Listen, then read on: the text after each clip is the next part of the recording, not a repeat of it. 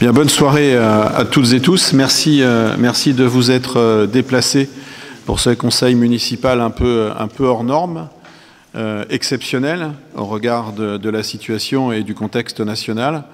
Je, ne pensais pas que nous nous retrouverions dans, dans une telle configuration lorsqu'on s'est quitté lors de notre dernier conseil municipal c'est comme ça. Euh, en tous les cas, moi j'ai plaisir à, présider à, nouveau un conseil municipal dans ce, contexte-là, malgré tout. Et merci d'avoir fait l'effort de vous être déplacé. Euh, nous avons, euh, dans le respect de la réglementation, bien évidemment, construit et pensé ce, conseil municipal à huis clos, avec le respect des distances préconisées dans les différents protocoles que vous avez dû que vous connaissez, j'imagine, maintenant. Euh, et nous allons donc pouvoir euh, démarrer ce conseil municipal comme nous le faisons d'habitude, euh, sans public. Alors, Éric Schlegel, présent. Agnès Poncelin. Présent. Ingrid Pinchon a donné pouvoir à Monsieur Éric Fournier. Éric Flessel. Présent. François Der. Présent. Delphine Schlegel. Présent. Claude Mazard. Présent. François Culeux. Présent. Corinne Islin a donné pouvoir à Delphine Schlegel. Jean-Charles Lander a donné pouvoir à M. François Der. Euh, Manuela Ramirez est arrivée, je crois. Présente, oui. Corinne Tanguy. Maria Miranda a donné pouvoir à Éric Flessel. Véronique Diaquino a donné pouvoir à Madame Agnès Poncelin. Ida Peloso. Éric Fournier. Isabelle Bopin-Vecchio. Pascal Galibert euh, sera en retard ou pas, il est arrivé. Donc euh, il nous avait indiqué que peut-être ce serait juste pour lui. Vincent Vierniajou, Claire Hénin, Francis Defranou, euh, Monsieur Bernard Livian, Madame Suzanne Charrier, Madame Martine Antona Ringot, Pierre Agement. Monsieur Jean Pierret. Monsieur Jean Recherchant. Madame Pascal Dumetz. Monsieur Louis Léonide. Le secrétaire de séance est Monsieur Bernard Livian. Tu as la parole, mon cher Bernard. Lors de la séance du Conseil municipal du 12 février 2020 ont été délibérés les points suivants. Concernant les finances, débat sur les orientations budgétaires de l'exercice 2020 et vote du rapport d'orientation budgétaire. Petite enfance, acceptation d'un don manuel grevé d'une condition. Pour le sport, approbation de la convention de mise à disposition ponctuelle de la base départementale de Champs-sur-Marne entre le département de la Seine-Saint-Denis et la ville de Gournay-sur-Marne pour l'organisation du duathlon l'O2 course d'obstacles canoë-kayak. Approbation de la convention entre l'Association des sports de Chelles, section canoë-kayak, et la ville de Gournay pour l'organisation du duathlon l'O2 course d'obstacles en canoë-kayak et approbation de la remise de récompense dans le cadre de cette même manifestation de l'O2 du 17 mai 2020. Pour les instances extérieures, dissolution du syndicat mixte de la passerelle du Moulin. Concernant la municipalité, concernant la MPT, rendu compte de Monsieur le maire pour la signature de la convention d'objectifs et de financement relative au contrat local d'accompagnement à la scolarité. Rendu compte d'opérations dans le cadre de la délégation de Monsieur le maire, décision et arrêté finance. Rendu compte d'opérations dans le cadre de la délégation de Monsieur le maire, pour la signature de divers marchés, accords cadres et avenants. Et il y a un erratum à la page 24 du rapport de présentation commun compte administratif ville budget primitif.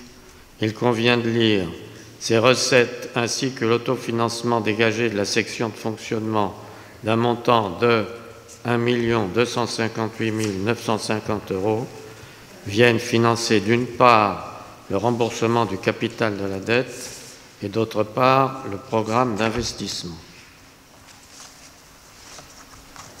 Merci Bernard. Y a-t-il des remarques sur ce qui vient d'être évoqué? S'il n'y a pas de remarques, on va passer à son approbation. Y a-t-il des votes contre, des abstentions? Donc c'est un vote à l'unanimité. Merci. Bien, nous allons donc euh, ouvrir et démarrer l'ordre du jour du Conseil municipal de ce soir par l'approbation du compte de gestion du budget de la commune exercice 2019. C'est Monsieur Claude Mazard qui va nous présenter cette première délibération.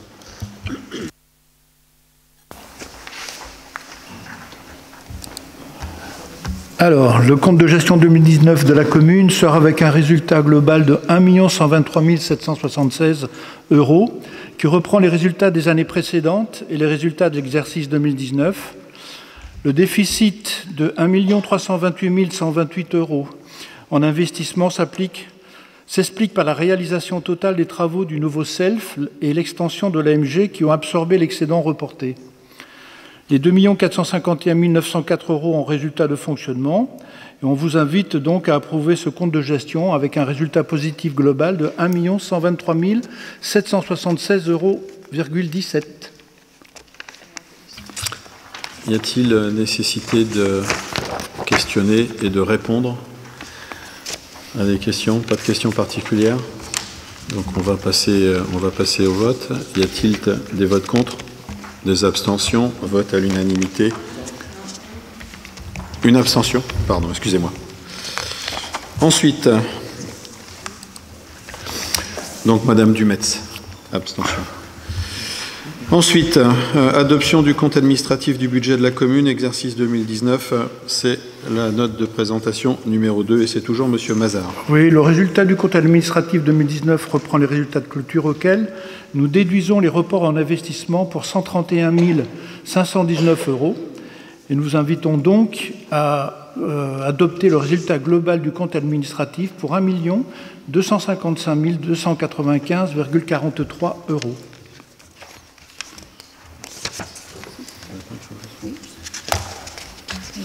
À Monsieur le maire de sortir. On procéder au vote.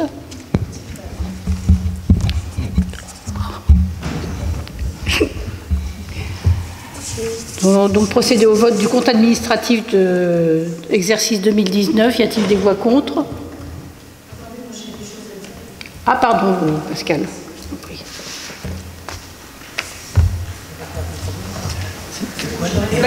Donc du coup, on est toujours, si on est toujours en débat, le maire il peut assister au débat. Oui, donc on va faire revenir Monsieur le maire pour le débat, euh, Pascal.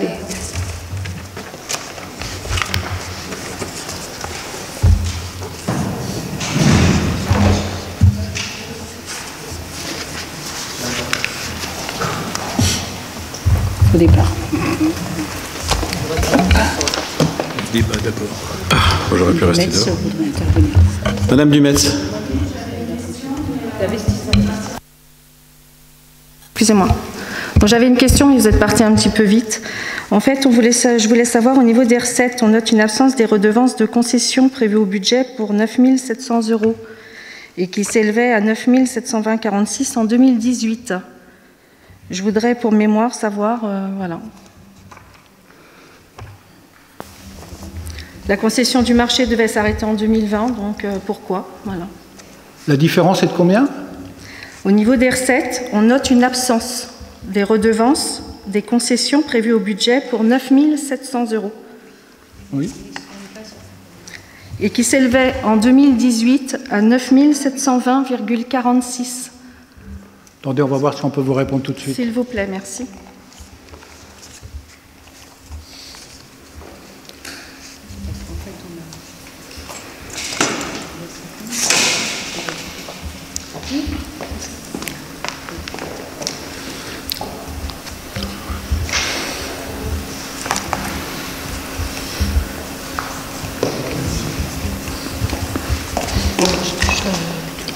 Vas-y, vas-y, je n'ai pas l'explication. Donc on est, euh, on est effectivement euh, avec, euh, avec le groupe Géraud sur un, sur un protocole de finalisation qui, pour l'instant, fait apparaître ce différentiel. Rien n'est tranché pour l'instant. On est en train d'aborder la, phase finale de, de, cette convention qui, comme vous l'avez rapporté, doit se terminer le 20 juin, je crois, ou le 21 juin. Euh, voilà, on est en cours de négociation sur, euh, sur le final. C'est ce qui fait. Euh, La oui. négociation s'explique aussi parce qu'on a. D'ailleurs, on, me, rappelle qu'il y avait eu, depuis plusieurs années, des demandes de la part du groupe Giraud d'augmenter la, participation ou le taux qui lui revenait. Euh, nous avions euh, toujours refusé de le faire depuis, euh, enfin, depuis qu'on est en place. Et lorsque nous étions dans l'opposition, d'ailleurs, on ne votait pas l'augmentation des taux, Bernard doit s'en souvenir, estimant que le marché de Gournay était dans un état tellement lamentable qu'il ne nous semblait pas correct de demander plus aux commerçants à l'époque. on est, dans, on est dans une phase finale de négociation, c'est ce qui explique ce différentiel. D'accord. Rien d'ailleurs hein, sur, euh, sur l'issue.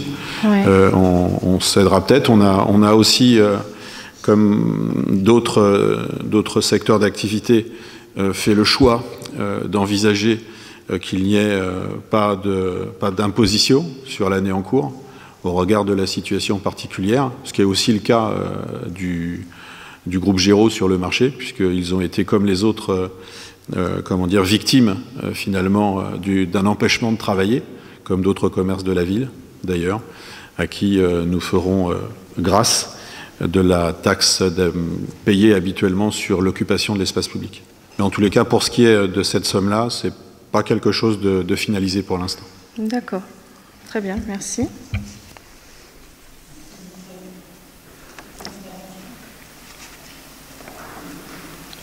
Oui, j'aurais pu dire aussi une autre intervention éventuellement. Donc je voulais dire que si le résultat de fonctionnement il dégage un excédent de 821 111,03, il aurait pu être supérieur, en fait, avec une meilleure maîtrise des dépenses d'énergie, je pense, des prestataires extérieurs et des dépenses d'entretien. Je pense que ça aurait été plus judicieux. Euh, vous pourriez préciser le sens de votre intervention parce que je ne comprends pas ce que vous voulez nous dire. Alors, je vais vous dire franchement, on reçoit les comptes euh, une semaine avant. C'est un travail considérable euh, que de les recevoir une semaine pour vraiment préparer tout ça et être dans le détail quand on voit euh, les paquets qu'on nous donne. Donc on a fait au mieux, on a regardé, on a essayé d'être bon. On a des choses, euh, enfin moi j'ai vu des choses favorables, il y a des choses défavorables. Tout n'est pas, euh, pas mauvais, mais par exemple là, pour le résultat de fonctionnement, il y a une dépense au chapitre 011, la charge à caractère général. Donc elles sont en hausse de 335 575 par rapport aux dépenses réalisées en 2018. Et la hausse, elle s'explique principalement par la, variation de certains postes qu'on a repérés. D'accord? Donc euh, j'imagine, on est d'accord? Vous voulez que je donne le détail, Monsieur Maza Non? Voilà. Donc euh, voilà, ce n'est pas, la vision. Euh, au niveau du budget, il y a des choses qui me sont parues un peu de signaler. Vous étiez, euh, vous étiez sur, sur l'énergie principalement Oui, on aurait pu faire, effectivement, on aurait pu faire des, une meilleure maîtrise des dépenses. Pour euh, gagner un peu plus. Est-ce que vous pourriez, euh, parce qu'on est, on est preneur de bonnes idées, donc n'hésitez surtout pas à développer si vous avez, enfin, vous avez l'occasion, le micro est ouvert, je, je, vous écoute, on est preneur. Voilà. Eh ben, écoutez, je pense qu'il y a plein de choses, effectivement, que on, sait très bien, on voit qu'il y a plein de choses qui peuvent s'améliorer au niveau des dépenses, au niveau des prestataires, on le, voit bien d'une manière générale. Je pense que là, je voulais faire juste la remarque au niveau des comptes et le, préciser. Je ne suis pas là pour débattre dans le détail. On pourra en parler ultérieurement si vous voulez. Non, mais c'est intéressant euh, sur l'économie sur l'énergie. Euh, franchement, moi, je, je, suis preneur en tant qu'électricien, enfin ancien électricien, je suis assez preneur. Donc, euh, il, y a, des, au niveau des, économies d'énergie, il y a les LED, il y a des choses qu'on peut changer. Euh, on n'est pas obligé de. Voilà, il y a plein de choses sur lesquelles on peut faire des économies, on le sait tous. Et on trouve qu'il y a eu des dépenses un petit peu. Euh, voilà, Alors, vous, savez que, vous savez forcément que, que les marchés qui sont pris ont une durée et qu'il n'est pas possible d'interrompre un marché tant qu'il n'est pas arrivé à son terme. En revanche, comme nous l'avons indiqué, le nouveau marché passé avec le nouveau prestataire prévoit le remplacement sur les éclairages des ampoules traditionnelles par des ampoules LED. À ce sujet-là, enfin, nous en avons euh, largement euh, parlé, on l'a écrit, etc. Donc c'est quelque chose qui est en place depuis cette année. Euh, D'accord. Non, mais donc on en verra les prochaines. Voilà, effectivement, tout à fait. Merci. Je vous en prie. Après, je souligne aussi, c'est la masse salariale qui est quand même, est, quand même en hausse. Euh, pour 2019, le montant de la masse salariale représente 62,03%. Alors, le, taux, le, taux, que vous indiquez, le taux que vous indiquez, c'est un taux qui, qui est quoi par rapport à quoi, par exemple? Alors, donc la masse salariale, pour nous, elle reste élevée, d'accord? Elle représente 68,28%. Mais d'accord, mais ce, ce, pourcentage, madame, c'est un pourcentage de quoi? Vous prenez, c'est le ratio de quoi C'est le ratio par rapport au compte que vous nous avez fourni. Oui, non, mais d'accord, mais un, ratio, c'est deux sommes, un ratio. D'accord. Quels sont les deux chiffres que vous prenez Ce que je vais expliquer, c'est que la masse salariale, elle reste élevée parce qu'aujourd'hui, de toute façon, il y a peut-être moins de salariés au niveau de la commune, mais il y a des gros salaires. Donc forcément, la masse salariale. Alors on en reparlera tout à l'heure, mais je rejette, je rejette et je réfute totalement ce que vous êtes en train d'évoquer. Et c'est pour ça que j'aurais aimé que vous précisiez le ratio que vous utilisez. Je pense que ça va arriver un peu plus tard. Je pense que les informations qui arrivent. Les informations, je vais les avoir au fur et à mesure. Euh, oui, j'imagine qu'on va vous les, vous, vous les fournir. Non, personne va me les donner. Mais ceci dit, Sur, le, sur le ratio, il a son importance parce que euh, suivant, suivant les chiffres que nous utilisons sur le ratio, on peut euh, avoir à la fois une élévation, soit une baisse. C'est pourquoi euh, nous prenons, nous, en tant qu'indicateur, la masse financière que représente la masse salariale. Ce n'est pas le ratio entre la masse et le budget de fonctionnement, puisque ce ratio-là, tel qu'il peut être utilisé, peut dire tout et son contraire, en fonction qu'on maîtrise les dépenses, le budget de fonctionnement, qu'on le baisse ou pas, et en fonction de ce qu'on va consacrer à la masse salariale. En revanche, ce qui est intéressant, c'est d'observer le montant financier de cette masse salariale, voir si ce montant financier varie dans le temps, s'il augmente ou s'il baisse. Et je vous montrerai avec aisance que ce montant ne fait que baisser, puisque le montant prévisionnel de la masse salariale inscrit au budget de cette année nous renvoie à l'année 2015. Donc je réfute totalement euh, sur ce plan-là, et notamment sur la masse salariale, le fait qu'il y ait hausse de la masse salariale. C'est une, une erreur de jugement et de principe euh, totalement, totalement. Et je, vous invite, je, et je vous le montrerai tout à l'heure puisque ça apparaît dans le tableau. Et le ratio que vous utilisez, je peux vous montrer et vous démontrer d'ailleurs que ce ratio ne tient pas la route non plus. Non, la masse salariale. Pour le reste, on peut s'entendre. La masse salariale baisse de 1,3% en 2019 et 1,1% au budget de 2020. D'accord? Donc Mais ce n'est qu'une prévision. Non, pas, pas l'année dernière, madame, ce n'est pas une prévision. L'année dernière, c'est un État. Là, on n'est pas, pas sur du prévisionnel en 2019, pardonnez-moi. Quand on regarde, en réalité, la masse salariale a augmenté de 7,2% sur le mandat. Il y a 431 000 euros par an entre 2014 et 2019. Madame, Madame Dumetz, vous devriez reprendre vos notes. Bah, quand, le premier budget que nous avons voté, c'était un budget qui avait été préparé à l'époque par Bernard euh, Lisian, ici présent. Le budget de l'époque, le, le, budget prévisionnel de l'époque, prévoyait pour la masse salariale un budget de 6 500 000 euros. Nous n'y sommes toujours pas aujourd'hui. Ce qui signifie, ce qui signifie malgré tout que si en 2014, Bernard avait prévu dans son budget 6 500 000 euros de dépenses pour euh, la masse salariale et qu'on ne les a pas atteints, ça veut dire qu'on les a maîtrisés, à minima. Mais c'est pour ça que je vous invite à reprendre un tableau qui va vous être présenté un peu plus tard par M. Mazar, qui est beaucoup, plus, euh, beaucoup plus clair. Mais je, réfute totalement euh, ce que vous êtes en train de dire. Pardonnez-moi, je, préférais, je préférais dire que je suis d'accord, ou etc., mais, je, réfute. Je veux dire sincèrement... ce que vous dites. Non, bah oui, bah vous le dites. Vous hmm. réfutez, pas de problème. Je vous en prie. Je voudrais juste intervenir sur, euh, sur les marchés et sur les prestataires.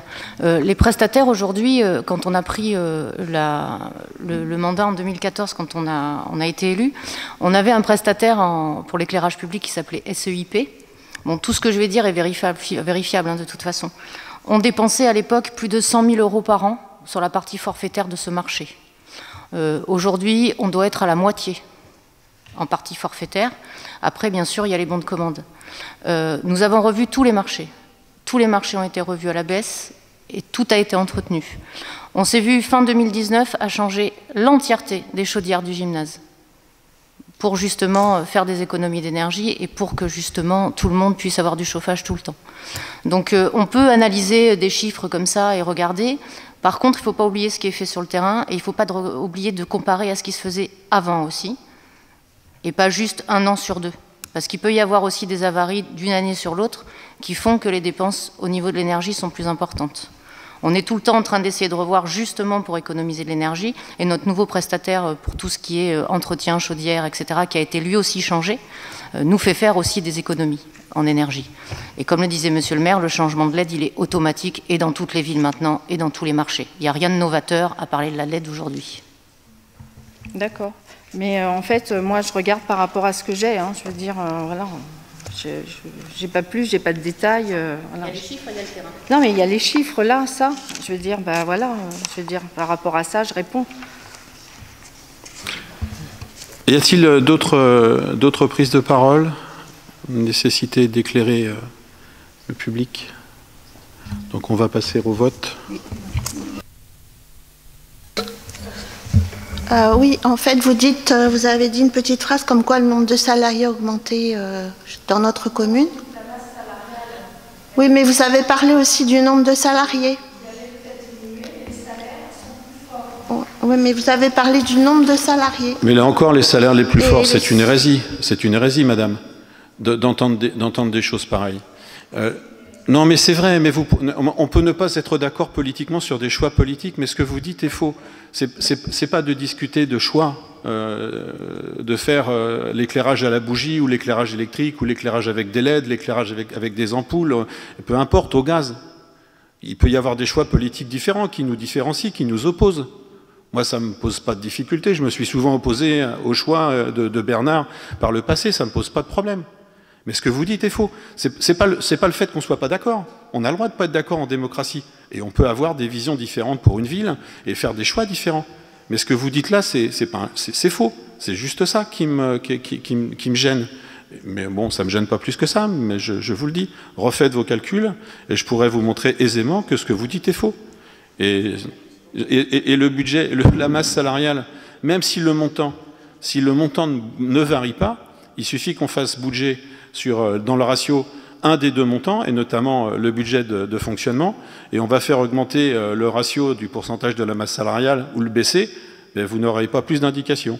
Par contre, je vous invite, et c'est le chiffre, à mon sens, qu'il est utile et nécessaire de voir, c'est ce que réellement nous dépensons pour la masse salariale, et ce que nous avons prévu de dépenser. Et si, d'ailleurs, vous, l'avez, vous avez annoncé une baisse de, sur l'année euh, l'année antérieure, ça apparaît dans le tableau, mais là encore, euh, budgétairement, euh, un budget a vocation à être sincère. Sincère, ça veut dire qu'on se rapproche au plus près de ce que va être la réalité. Bien évidemment, il faut qu'il soit équilibré en dépenses et en recettes, mais c'est quelque chose qui est, qui est, une réalité. Il peut y avoir, bien sûr, des aléas, mais là encore, l'augmentation de la masse salariale, c'est un projet politique, ou une baisse de la masse salariale, c'est un projet politique. L'histoire des grands salaires, c'est un peu comme les contes et légendes sur le salaire de la collaboratrice du maire. Vous savez, on entend et on dit beaucoup de choses, et d'une commune à l'autre, d'une strate à l'autre, les revenus ne sont pas forcément les mêmes. Donc il y a beaucoup d'âneries qui sont dites parfois, qui sont mensongères, mais là, pas, je ne parle pas de ça. Je, dis pas que, je dis simplement que ce que vous dites, euh, en tous les cas, ne correspond pas à la réalité de la ville. Et puis moi, je voulais dire aussi que tout au long des conseils municipaux, vous avez le tableau des emplois qui nous est donné régulièrement et qui récapitule la totalité des emplois qui sont à Gournay, nos salariés. Et donc, euh, ben, il suffit de suivre, en fait. Hein, on voit euh, qu'il n'y a pas plus de personnel qu'avant. Après, il y a des gens qui augmentent dans leur fonction. Ce qui est normal, c'est une évolution normale pour tout salarié en France. C'est de passer aussi certains échelons qui est logique. Donc euh, bah, il, faut, vraiment examiner tout ça. Je pense qu'il faut que vous preniez vraiment tous les tableaux de tout ce qu'on vous donne, quoi, en fait. Enfin, moi, c'est un conseil. Hein. Et, pour rappel, euh, c'est pas Bernard Livian qui me contredira, le dernier euh, rapport de la commission régionale des comptes sur la ville de Gournay-sur-Marne, je demandais derrière en quelle année c'était, je pense que 2008 on disait, 2008, reprocher à la ville de Gournay-sur-Marne de ne pas avoir assez de cadres pour encadrer les personnels, qu'il n'y avait pas assez de cadres A dans cette commune. Donc là aussi, euh, il y avait quelque chose à faire. Nécessité euh, d'avancer, je pense qu'on reviendra puisqu'on est qu'au début. D'autres questions? S'il n'y a pas de questions, on va passer au vote.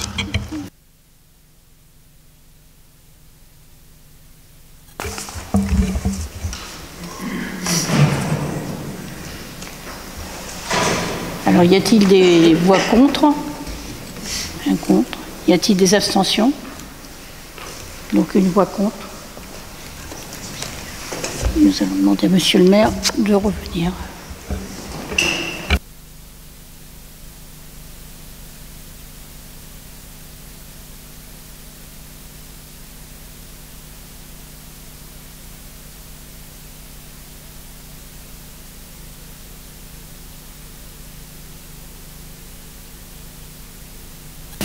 Une voix contre. Merci. Alors ensuite, on va passer à la délibération numéro 3, c'est l'attestation du résultat de fonctionnement de l'exercice 2019 au budget de la commune. C'est toujours Monsieur Mazard. Donc nous venons d'approuver le compte administratif qui contient le résultat de fonctionnement pour 2 451 904 euros.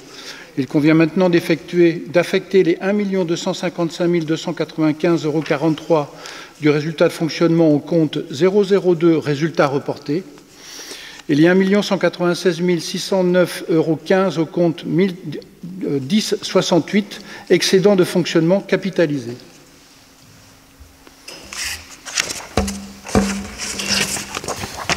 Des questions? Pas de questions? On va passer au vote. Y a-t-il des votes contre? Des abstentions? Une abstention, Madame Dumetz. Délibération numéro 4, vote des taux d'imposition des taxes communales, exercice 2020, c'est toujours Monsieur Mazard. Alors, suite à la réforme de la taxe d'habitation, le taux de cette taxe est figé à 34,69% et maintenu sans vote du conseil municipal. Nous vous proposons de voter le renouvellement des taux de la taxe foncière bâtie à 20,86% et 118,93% pour la taxe foncière non bâtie. Ces taux sont inchangés depuis 2011.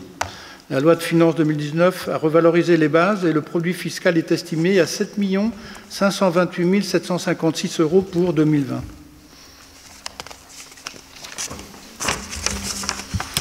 Des questions? Des commentaires? Des remarques? Pas de questions. On va passer au vote. Y a-t-il des votes contre? Des abstentions Vote à l'unanimité des taux proposés. Merci. Délibération numéro 5, vote du budget primitif de la commune, exercice 2020. C'est toujours Monsieur Mazard. Alors, cinq axes, axes, comme tous les ans, ont motivé euh, le montage du budget 2020. Le maintien des taux d'imposition, on vient de le voir, la maîtrise des charges de fonctionnement et de personnel, l'amélioration de la capacité d'autofinancement pour financer les investissements sans avoir recours à l'emprunt, et le maintien des services aux Gournésiens. Un petit document sur euh, l'impact de la crise sanitaire. Euh, sur notamment euh, le, vote de ce budget. En principe, le vote du budget primitif doit intervenir dans les deux mois qui suivent le vote du ROB. Cependant, la crise sanitaire que nous traversons a entraîné un certain nombre de mesures dérogatoires. L'adoption du budget primitif 2020 et l'arrêt du compte administratif peuvent être reportés jusqu'au 31 juillet 2020. Le vote des taux aurait pu être aussi reporté au plus tard le 3 juillet 2020. En l'absence de délibération, les taux et tarifs 2019 seront prorogés. On note des baisses de certaines recettes suite à la fermeture des écoles, centres de loisirs, crèches et restauration collective. Des projets ont été abandonnés alors que les dépenses de personnel sont toujours incompressibles. Des dépenses supplémentaires, comme l'achat de masques, gants et gels, ont impacté le budget pour plus de 40 000 euros. j'ai quelques chiffres si vous voulez bien. On commence par les plus simples. Le marquage et la signalisation au sol, 715 euros. Les gels hydroalcooliques et les nettoyants, 2450 euros. 836 euros de thermomètre.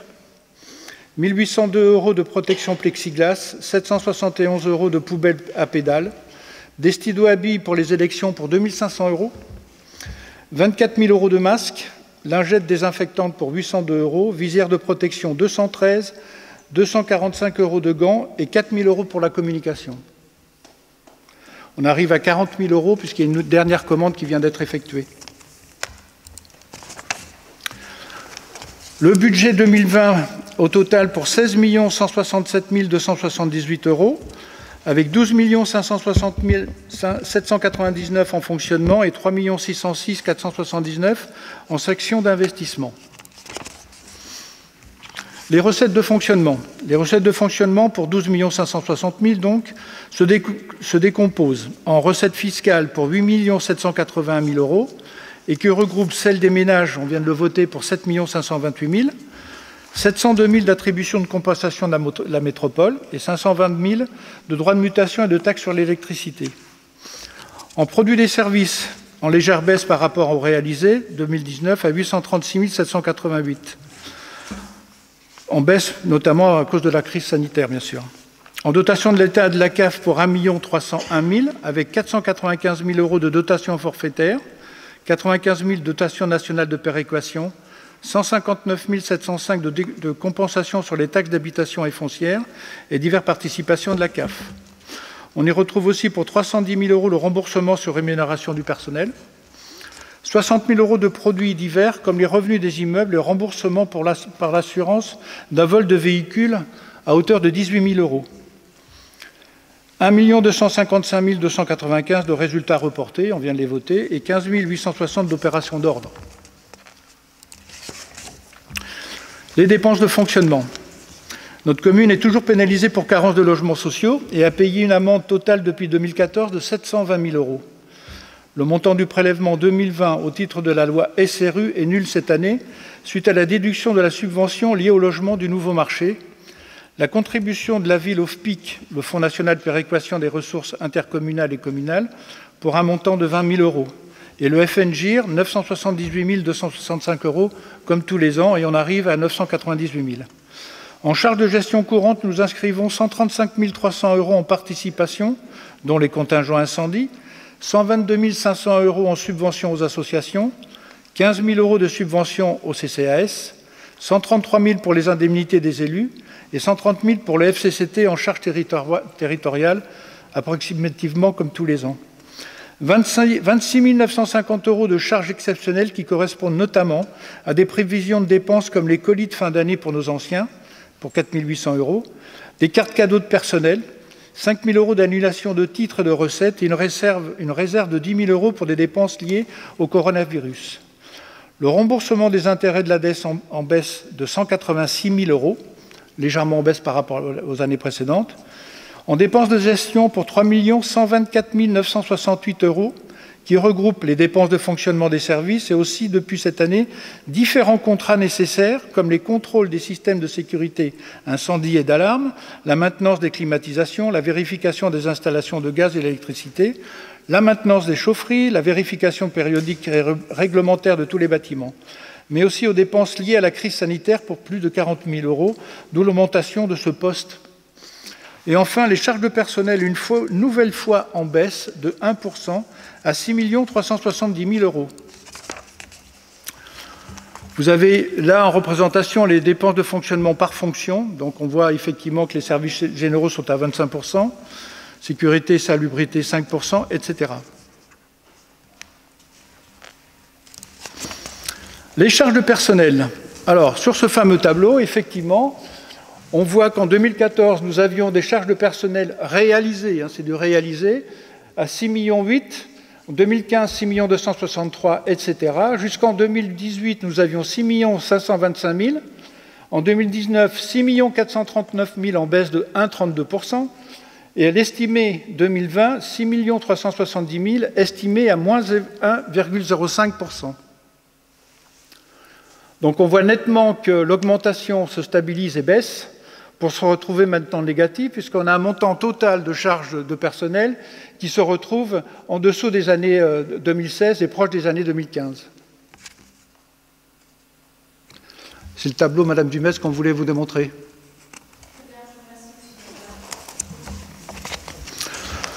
Alors les charges de personnel, ils ne baissent pas tout seuls, bien entendu. Nos efforts portent leurs fruits et la baisse entamée en 2019 devrait se poursuivre en 2020. Entre les réalisés 2018 et 2019, la baisse a été de 1,32%, qui correspond à 86 000 euros. Le prévu prévisionnel de 2020 montre une nouvelle baisse de 69 000, soit 1,05%. Des mesures fortes et concrètes sont prises, non-remplacement systématique des départs en retraite, création d'un pôle ressources fin 2019, d'un guichet unique en 2020 et la mise en place d'un nouveau SELF. Une attention particulière est donnée au renouvellement des contractuels.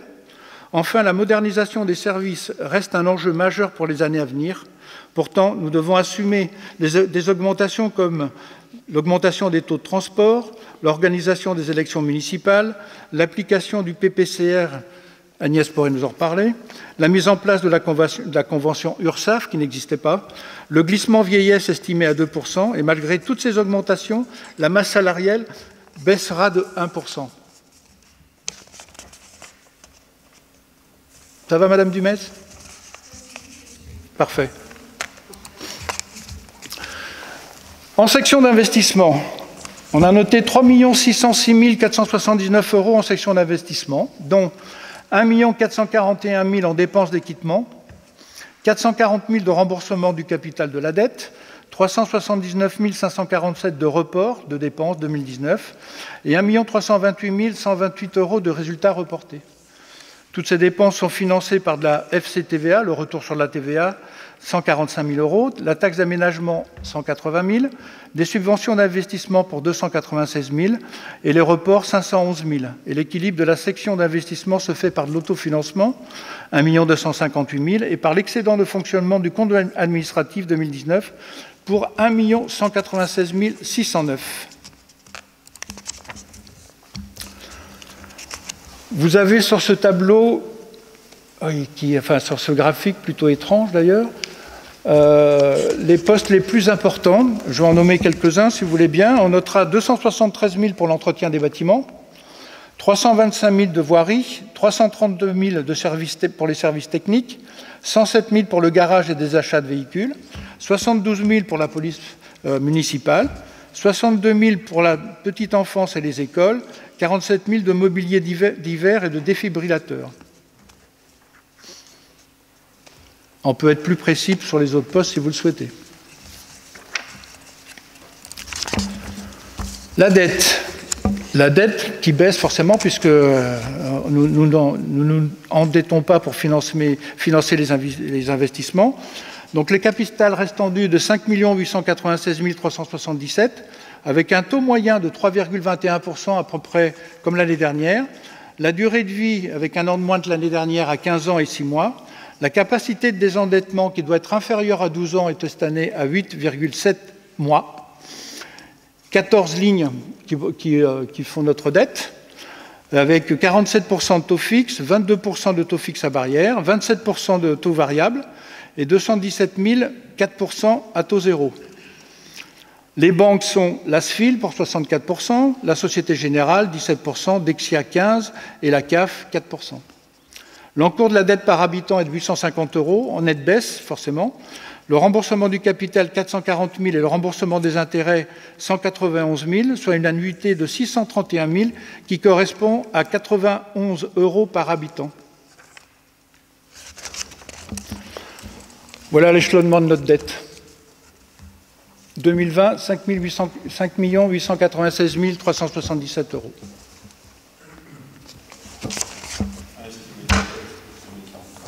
Voilà. S'il n'y a pas de, nouvelles. Voilà, monsieur le maire, j'en ai fini. Bien, pour une présentation rapide. Des questions? Monsieur Livian, si vous me permettez, Madame Dumetz, pour alterner.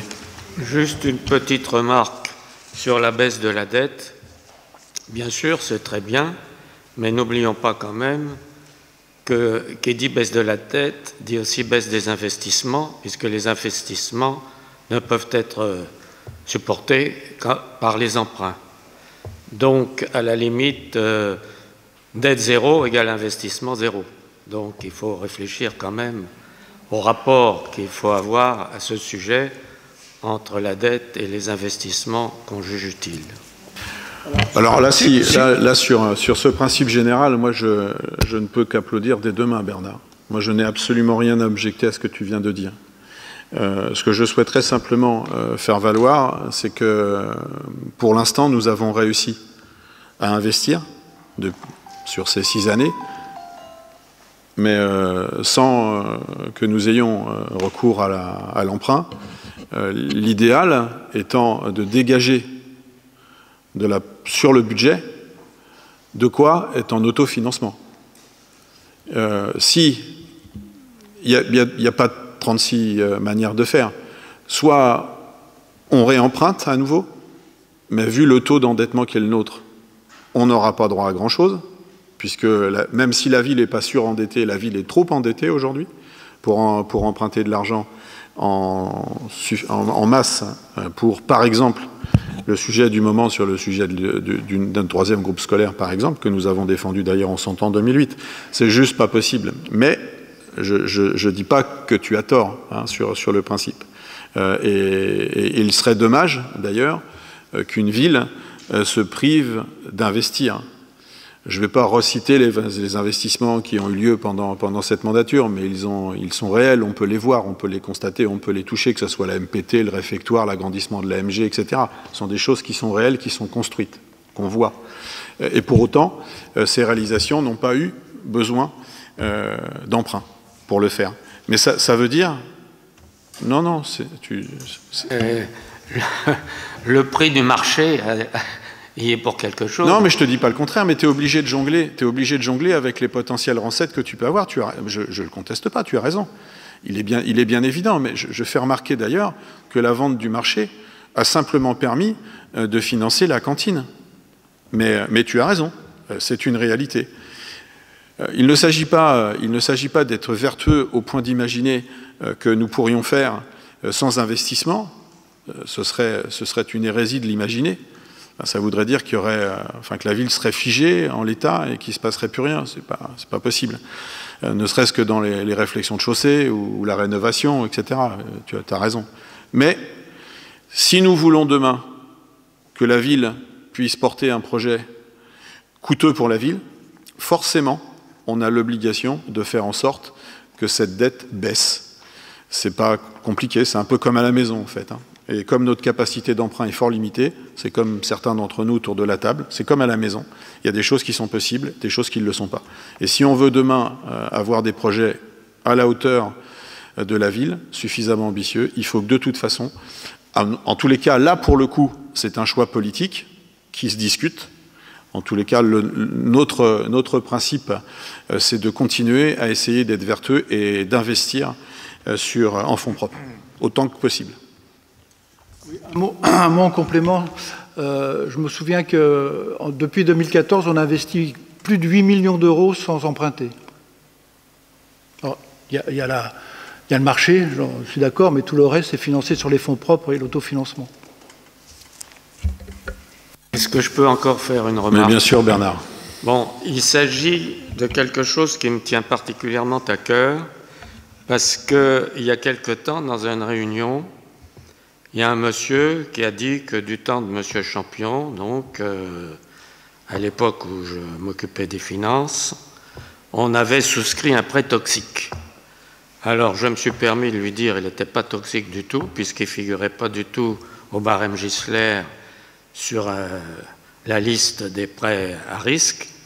Il m'a dit, mais ça a été dit, euh, je lui ai dit oui, ça a été dit au moment de la campagne électorale, mais c'est vrai que malheureusement, il y a des gens qui ont pu prendre pour argent comptant un argument de campagne qui n'était pas exact. Donc je voudrais redire aujourd'hui, puisque c'est sans doute le dernier conseil auquel je participe, que ce prêt, d'une part, n'a jamais été toxique. Deuxièmement, vous l'avez remboursé dans des conditions désavantageuses pour la ville, il faut bien le dire, au prétexte que les taux d'intérêt allaient augmenter. Et qu'est-ce qu'on remarque? Que année après année, les taux continuent de baisser au point qu'ils sont même négatifs aujourd'hui. Donc j'estime que ce remboursement n'aurait pas dû avoir lieu et je proteste encore une fois contre l'appellation de prêt toxique. Parce que ça, je l'ai gardé sur le cœur. Alors, c'est malgré tout, je suis désolé, un prêt toxique, puisqu'il est dans la charte Gisler, d'accord Il est nommé, et c'est parce qu'il était nommé que nous avons pu avoir des aides de l'État. D'accord Non seulement des aides, mais de l'obligation. Alors, on n'est pas d'accord sur, la possibilité d'avoir une rentabilité sur ce prêt. Il faut quand même se rappeler que ce prêt, le taux n'était pas très élevé, d'accord Mais il avait un, risque potentiel. Euh, on n'a jamais dit que les taux allaient monter, mais ils risquaient de monter. Ça pourrait arriver, surtout à une échéance long terme de cet emprunt. Mais en renégociant cet emprunt, on est arrivé au même taux, d'accord en évitant la problématique du taux toxique, tout en gardant le montant, avec un léger surcoût, et tout en gardant la durée. Donc on s'est dit, dans ce constat-là, la, possibilité, la possibilité et l'obligation d'avoir une aide de l'État nous permettait d'avoir sécurisé cet emprunt au même niveau de taux et qui nous garantissait des intérêts tout à fait pérennes et pas aléatoires à un taux variable qui pouvait exploser, qui aurait pu exploser. Vous, vous avez trouvé qu'il avait un risque.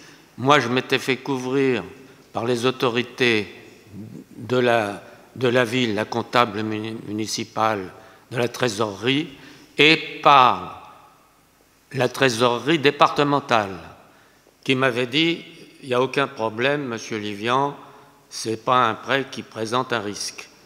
Donc, c'est une question d'interprétation. Bernard, tu sais très bien que le département euh, qui a emprunté aussi euh, dans cette période, et comme d'autres villes, comme d'autres collectivités, le paye et l'ont payé et le paye encore très cher. Tu le sais très bien. Euh, en revanche... Ça n'aurait pas été le cas pour celui-là. Non, mais peut-être. Moi, je ne suis pas spécialiste, je ne vais pas m'avancer sur ce terrain-là. je laisse Monsieur Lahaye ou Claude en parler tranquillement, c'est vraiment pas ma spécialité. Euh, en tous les cas, euh, nous avons défendu euh, à l'époque la proposition et le choix de Claude, qui n'était pas d'ailleurs un choix partagé par, par M. Lahaye à l'époque, qui s'en était expliqué. J'insiste néanmoins sur l'idée d'obligation préfectorale. Hein. Ce n'est pas, quelque chose qu'il faut, faut oublier. Il y a aussi cette réalité-là. L'obligation qui est faite parfois, euh, c'est de l'ordre de l'injonction hein, de, faire, et c'est d'ailleurs pourquoi euh, parfois l'État aide ou accompagne euh, quant à l'obliger. Il ne faut pas, non plus l'oublier. Néanmoins, si à une époque nous avons pu montrer la légèreté avec laquelle certaines collectivités ou tes choix euh, je, m'en excuse et je le dépore, Bernard. Au regard de, comment la situation a évolué et comment les choses ont évolué et la compréhension qu'on a pu en avoir euh, à ce moment-là, enfin, en tous les cas, avec un petit temps décalé. Mais l'objet, en tous les cas, aujourd'hui, euh, c'est absolument pas, même sur la mandature, de montrer du doigt les choix qui ont été les tiens à un moment donné. Enfin, ça n'a plus de sens. On a bien compris, on a bien vu que beaucoup de collectivités avaient payé très très cher un certain nombre de choix, sans que pour autant localement nous ayons les moyens, les moyens humains, en ressources simplement, le spécialiste pour être en capacité d'analyser ça. Et même les spécialistes se sont fait rouler dans la farine. Parce que l'indexation du taux par rapport au yen ou par rapport à je ne sais pas trop quoi, euh, bon, euh, le franc suisse ou j'en passe et des meilleurs, euh, ça peut être, au bout du compte, ça peut être assez, assez compliqué. Mais l'objet, très honnêtement pour nous, ce qui nous a opposé par le passé par rapport à ça, c'est de l'histoire ancienne. En revanche, là encore, il y a des conceptions qui peuvent être différentes. Jean-Pierre avait exprimé son point de vue, Monsieur Lahaye, pardon, avait exprimé son point de vue sur, sur cet emprunt et la manière dont lui voyait l'évolution. Euh, Claude avait, lui, une perception totalement différente. Mais je rappelle, et j'insiste sur un point, c'est l'obligation préfectorale qui nous avait été faite, et d'ailleurs qui avait été accompagnée par cette aide financière, ou en tous les cas ce, moyen de... Voilà, exactement. Oui, non, mais moi, ce qui me gêne, c'est que justement, parce que beaucoup de collectivités, et les notoriétés publiques, que beaucoup de collectivités ont été induites en erreur, un peu souscrire des prêts réellement toxiques, que moi, je n'ai pas digéré le fait qu'on applique ce terme à cet emprunt-là, qui manifestement ne l'était pas. Qu'on puisse dire qu'il y avait un risque d'augmentation des taux, c'est de la prévision, que chacun peut faire en fonction de ses connaissances et puis de, ce qu'il pense de l'avenir. ça, ça, devient de la divination. Bon, les faits me, donnent raison, même sur ce plan-là, puisque je le répète, les taux sont plus bas que jamais, même négatifs aujourd'hui. Donc sur l'appréciation du risque, euh, je pense que ma, vue des choses était la bonne. Mais c'est le terme de prêt toxique parce que dans l'esprit des gens, surtout des gens qui peuvent forcément ne pas être très informés de ce genre de questions qui sont quand même assez techniques et, spéciales et spécialisées, le, terme de, prêt toxique est quand même très, très négatif et très préjudiciable. Voilà. Juste un, mot. Oui, juste, un tout petit mot. Euh, en fait, qu'il soit toxique ou pas, enfin, c'est pas, pas, très grave. Euh, ce qui est important, c'est que vous avez emprunté dans des bases qui, qui étaient très bonnes par rapport au marché de l'époque, parce qu'il y avait des conditions particulières qui étaient attachées au taux. Ces conditions particulières qui auraient pu dégrader le taux à notre désavantage, n'ont jamais existé. Tant mieux, ça aurait coûté très cher. C'est parce que nous avons eu des, aides de l'État qu'on a pu, dans des conditions très favorables, arriver au, même taux que ce que vous avez traité, sans avoir la, problématique d'une augmentation qui, interviendra peut-être jamais, mais qui peut peut-être intervenir. Oui, mais en allongeant la durée du prêt aussi. Non, non, non, non, on n'a pas allongé le prêt. Pas allongé le prêt. En fait, euh, euh, les conditions sont les mêmes. On a reçu une aide sur deux ans. Euh, on a figé le taux 4,41 je crois de mémoire, donc qui est aujourd'hui un taux, élevé, mais, qui à l'époque était un taux très bas par rapport à ce que vous auriez pu sur la durée et pour le montant négocier. Et je vous rappelle que les taux sont négatifs aujourd'hui, mais avec la crise sanitaire, là, les taux ont remonté. Donc vous savez, il ne faut pas grand-chose pour que les taux remontent. Nous, on a saisi l'opportunité et l'obligation d'avoir la possibilité d'améliorer, de figer ce taux à risque. Maintenant, il n'existe plus. Monsieur Puisque vous m'avez cité. Moi, effectivement, j'avais un, point de vue un peu différent avec Claude, parce qu'en fait, c'est beaucoup plus euh, complexe que ça. Ce, crédit, euh, en fait, était très peu, ce prêt était très peu appréhendé en termes de risque, puisque le risque reposait sur l'écart entre deux durées. Sur un marché, vous avez une hiérarchie de taux. Quand euh, tout va bien, les taux bas sont généralement, les, taux courts sont généralement plus bas que les taux longs. Hein. vous avez une hiérarchie assez linéaire. Lorsque euh, on est en phase de violente remontée, qu'il y a des problèmes euh, monétaires, vous avez une inversion de la courbe, c'est-à-dire que les taux court terme vont dépasser, vont passer au-dessus des taux long terme. Et en fait, c'était ce cas de figure qui pouvait très bien pénaliser la, ville à un moment donné, puisque l'emprunt était très long, hein. il avait 30, 30 euh, ans ou 35 ans de durée. Alors, il s'avère qu'on n'a pas connu cette phase encore d'inversion, ou pendant quelques mois, il y a eu effectivement. Mais ça aurait pu coûter euh, effectivement très cher. Il n'était pas au niveau du score Gisler euh, considéré comme le plus toxique, mais il présentait un risque euh, très important. Et moi, la différence, c'est que je vous avais conseillé d'attaquer Dexia. Il y a des villes qui l'ont fait, qui ont gagné et qui ont eu l'annulation justement de cette part de risque, parce qu'en fait, vous vous êtes retrouvé dans une négociation où Dexia vous a fait payer quelque part la levée de sa couverture, parce qu'eux se sont couverts. Ils vous prêtaient, mais ils avaient le risque inverse, et donc ils avaient pris une, assurance. Euh, et donc ils ont fait payer, euh, en quelque sorte, la levée de leur assurance euh, au moment de la renégociation. Voilà, c'était ça. Mais je pense qu'effectivement, il valait mieux juguler ce risque que personne ne maîtrise. C'était pas fait pour une ville, en fait. Hein. Euh, moi, c'est des, ça a été une obligation. C'était des swaps de taux d'intérêt, des choses comme ça, des options euh, euh, qu'on utilisait sur les marchés. Claude connaît ça aussi bien que moi. Mais effectivement, personne n'appréhendait aussi bien pas le comptable du Trésor ou, le comptable de la ville. Hein. Ça a été honteux de la part du Crédit local de France à l'époque de commercialiser des emprunts de ce type. Merci, monsieur Lay. Madame Dumetz moi. J'ai une question pour Monsieur Mazar. Sur le budget d'investissement euh, pour 2020, sur les 1 440 943 prévus au budget, est-ce que vous pouvez me donner le détail, s'il vous plaît? Investissement.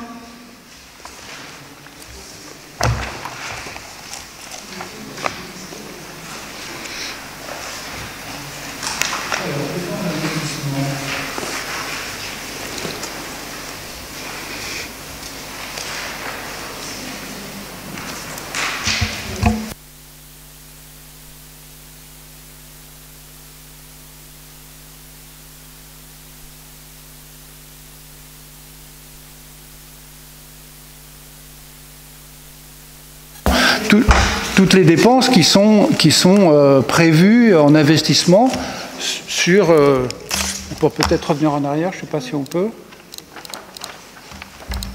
Tu peux, tu peux remettre... Euh,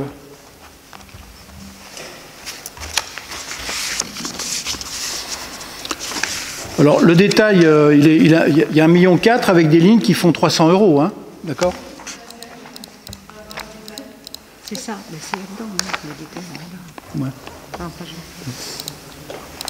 Alors, voilà, d'accord, c'est ça.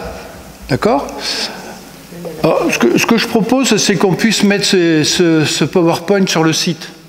C'est faisable, d'accord Comme ça, vous aurez des éléments qui peuvent, qui peuvent être euh, importants pour vous.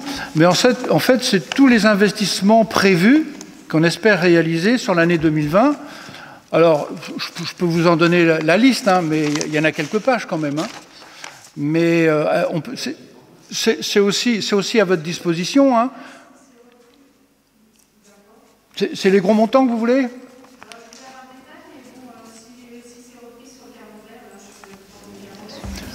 Martine euh, vient d'arriver.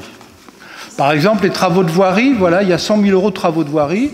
Création divers marquages au sol, 30 000 euros. Création marquage au sol devant le marché, 15 000 euros. Création d'une dépose minute au pâquerette, 20 000 euros. Euh, mise en place d'un système de, de supervision 36 000 euros pour la police municipale, etc., etc., etc. Mais c'est avec plaisir que je peux vous donner toutes les informations nominatives de ce qui est prévu aujourd'hui au budget primitif. Hein. C'est public, hein, de toute façon. Quand on parle, quand on parle d'ailleurs d'investissement voirie, c'est sur de la création. Oui. Puisqu'il y a une part de fonctionnement voirie, par exemple. Aussi une part de fonctionnement. Ça dépend de quoi on parle. Mais en tous les cas, sur l'investissement, globalement, le pourcentage sur la somme totale, vous le retrouvez là.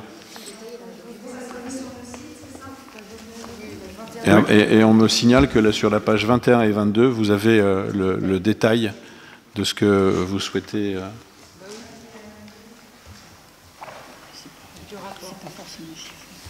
Alors c'est pas forcément chiffré, mais en complément de ce que vous aurez ici, du coup, ça va vous donner une idée plus précise de ce qui est prévu en termes de, dépenses d'investissement. Je vous en prie. D'autres euh, questions? Monsieur Lay. Sur l'ensemble du, budget, effectivement, quand on, regarde le budget de la ville, on sait très bien que c'est un exercice très difficile avec les particularités euh, qu'a cette ville. Je vous invite à, reprendre euh, la page 1 du budget primitif, vous avez un tableau avec euh, tous les ratios. Ça aurait peut-être évité certaines discussions, parce qu'effectivement, quand on regarde les dépenses de personnel sur les dépenses réelles de fonctionnement, le, ratio est de 56-44, il est de 56-46 pour la strate. Et, et ce n'est pas là la faiblesse de, de la ville. La faiblesse, effectivement ces dépenses réelles de fonctionnement qui sont 58% supérieures à la strate. Et alors, effectivement, on peut se poser la, question d'où ça vient, euh, puisque finalement, ce n'est pas, pas, les charges de personnel. Euh, il y a eu effectivement euh, des augmentations sur les, sur les services. J'ai quelques questions à poser sur certaines lignes qui, qui augmentent. Mais moi, ce que je vois surtout comme faiblesse, puisque ce tableau montre les, les, les points forts et les faiblesses, c'est la dotation globale de fonctionnement qui est seulement de 85 euh, par habitant, alors que sur la strate, elle est de 152. C'est-à-dire qu'on est, euh, bon, pas tout à fait à moitié, mais euh, on, a, on, a, un gros problème avec effectivement ce, cette dotation qui est, qui est, trop faible pour nous permettre d'investir. Alors ça engendre effectivement un taux d'imposition beaucoup plus élevé que, que, les autres villes de même taille. Et euh, quand on parle de, l'endettement, moi, ça me convient très bien. On, est revenu à un encours de 7 millions. 7 millions, c'est à peu près la collecte des impôts sur les particuliers. Je crois que c'est, il faut pas aller au-delà. C'est-à-dire qu'il faut pas oublier, c'est que les emprunts, il faut rembourser, les rembourser et payer les, intérêts. Les, emprunts sont des impôts de demain. Si on veut pouvoir maintenir les taux d'imposition, on a tout intérêt, et c'est le message que je délivrerai à l'équipe qui sortira euh, euh, des, urnes, c'est de continuer justement à maintenir un endettement euh, comme ça a été fait là, qui, permette une garantie de non-augmentation des, taux d'imposition dans le futur. Là, c'est un peu le, contribuable qui parle, mais je crois que beaucoup d'habitants de, Gourdet devraient réagir de la sorte. Donc voilà, je... Pour répondre à, ta question, enfin c'est pas une question d'ailleurs, mais pour répondre à, ça, euh, bien entendu, euh, une ville, euh, il y a très peu de villes en France qui n'ont aucune dette. Et, ce n'est pas forcément parce qu'elles sont bien gérées, hein, c'est parce qu'elles ont beaucoup de ressources et peut-être peu d'investissements. Euh, aujourd'hui, on a, on a, comme le maire vient de nous le dire, on a, on a un, projet qui est important, c'est l'école. L'école, euh, quel coût de l'école, quelles subventions nous allons obtenir, etc. Aujourd'hui, malgré tout, il va falloir se laisser la capacité, l'opportunité de pouvoir emprunter, ce qui n'est pas possible aujourd'hui, sinon l'école, on l'aurait faite.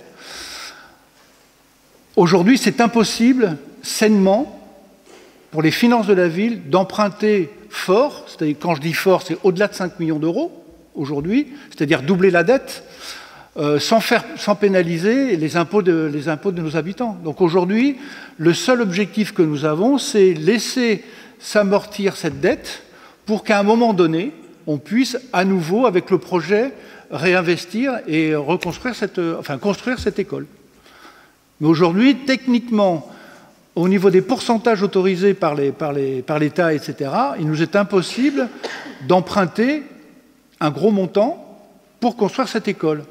Alors, pour rejoindre, M. Livian, ce que vous disiez tout à l'heure, on pourrait emprunter euh, un million d'euros pour, euh, euh, bah, faire plus de, trottoirs, plus de voiries. Mais c'est un million de moins pour l'école. Et donc ça, c'est problématique. Quand on n'a pas beaucoup de finances, quand on a des taux très élevés euh, au niveau des, impôts, on n'a pas la marge de manœuvre. 1%, c'est 140 000 euros. 1% sur les impôts, c'est 140 000 euros. C'est même pas 140 000 euros d'ailleurs. C'est en dessous de 140 000 euros.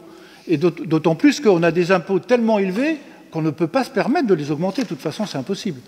Donc la seule faculté que nous avons pour, avoir, pour réaliser ce projet, c'est exclusivement d'attendre que la dette soit suffisamment basse pour qu'on puisse augmenter 5, 6, 7, 3, 2, on ne sait pas, on verra bien.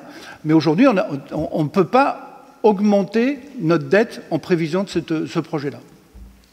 J'aimerais euh, compléter euh, euh, le, propos de Claude et revenir sur la, sur la masse salariale. S'il y, a, y a bien un point de fierté, c'est bien celui-là. C'est d'avoir maîtrisé cette masse salariale le graphique euh, l'indiquait euh, très très bien, puisque s'il peut revenir là, le graphique sur, le, sur la masse salariale. Moi, je l'ai massé, celui-là. Tu le retournes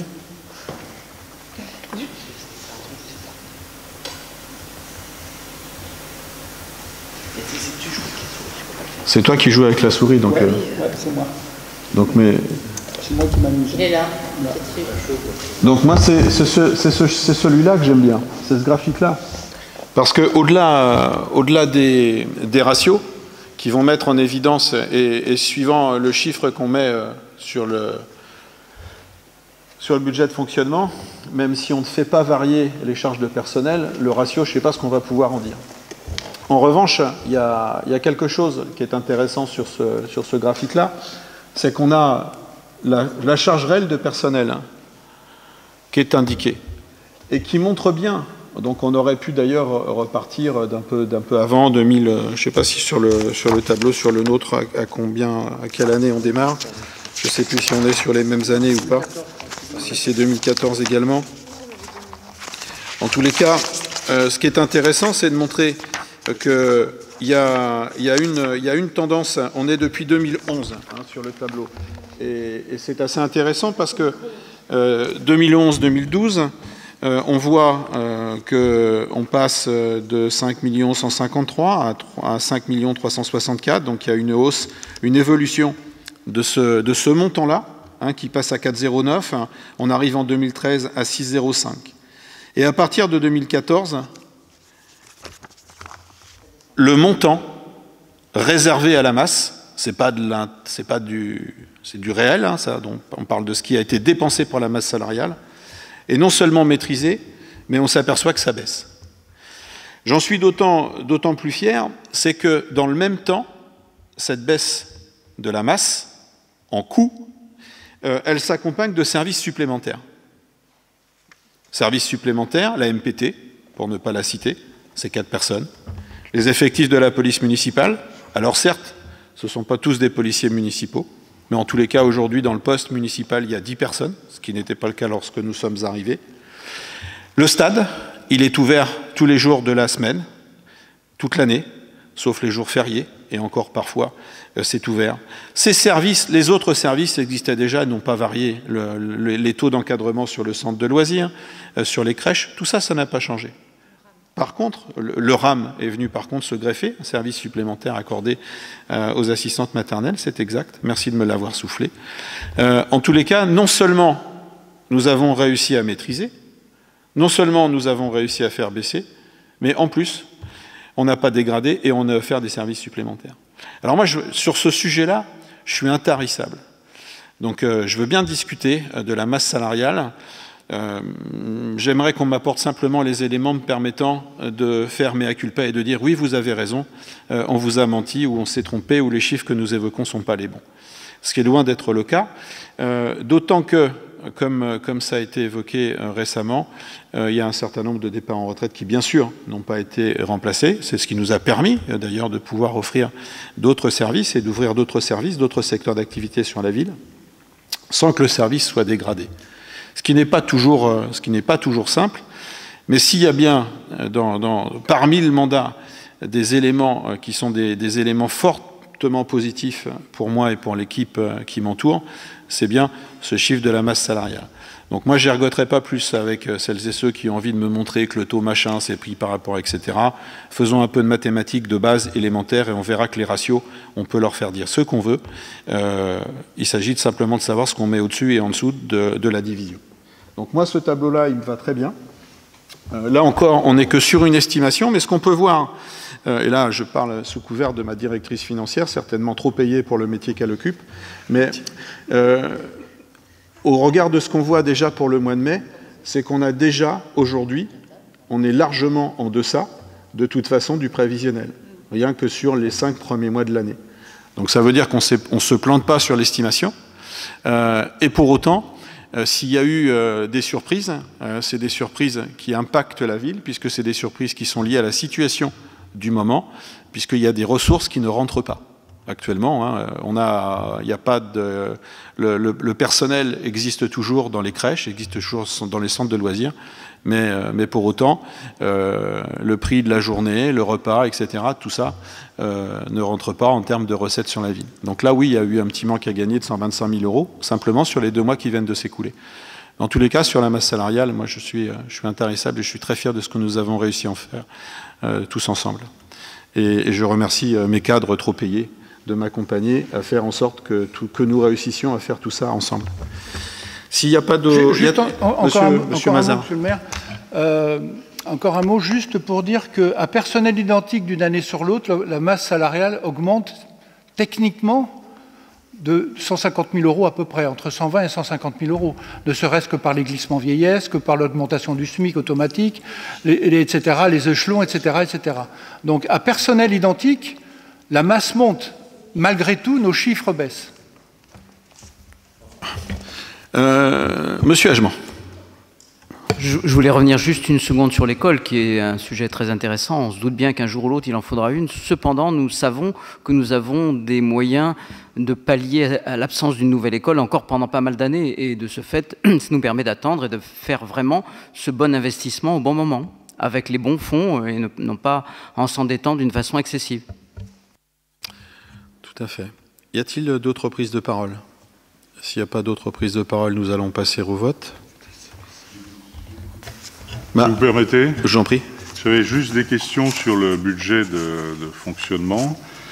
Euh, sur les comptes de charges 61 et 611, je note une augmentation prévue de 476 000 euros.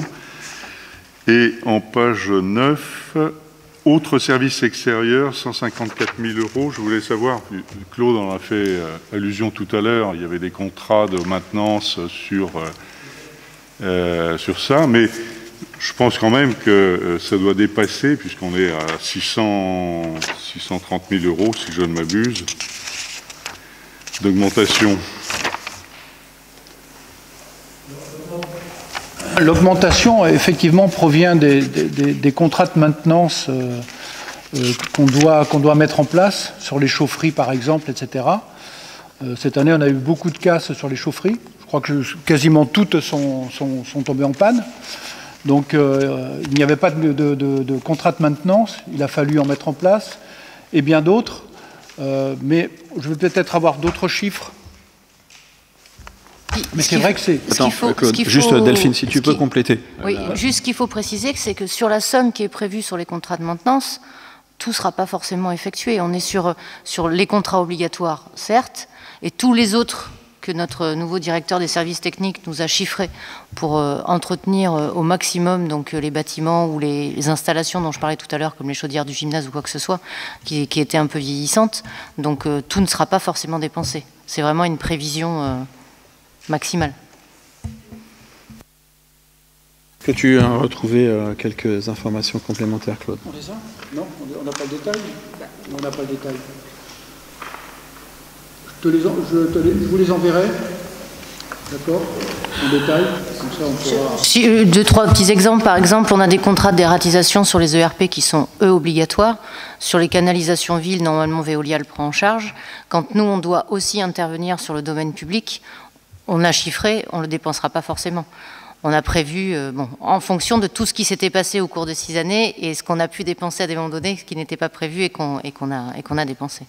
Je pense à des contrats qui ne sont pas obligatoires et qui sont fort utiles. Je pense les, contrats de toit terrasse euh, qui ne sont pas forcément des contrats euh, qui étaient initialement pris, mais qui permettent finalement de faire énormément de prévention. Ça évite que des arbustes ou que des arbres poussent sur des toitures, sur des toitures en toit plat.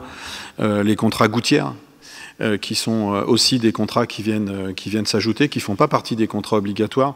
Les contrats obligatoires, pour faire simple, c'est par exemple les ascenseurs dans les structures. Lorsqu'il y a un ascenseur, vous avez obligation.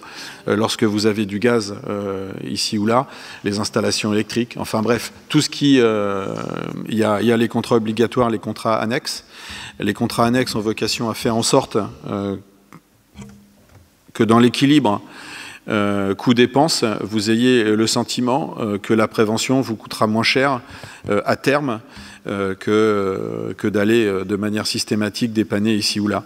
ça peut mais bon, les contrats, les contrats sont, multiples, mais il est vrai que le chiffre peut sembler, peut sembler important et la, question, la question est normale. Enfin, je pas choquante.